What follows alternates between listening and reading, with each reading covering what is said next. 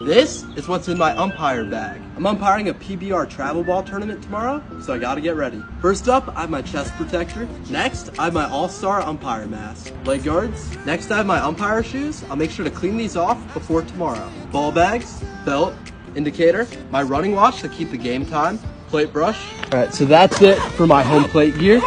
Now we move on to shirts, pants, and hats. Light blue umpire shirt, black umpire shirt. Then I have my umpire's jacket. I probably won't need this tomorrow because it's pretty hot. Umpire pants, I have different pants for behind the plate and in the field. Umpire's hat, I have both navy blue and black.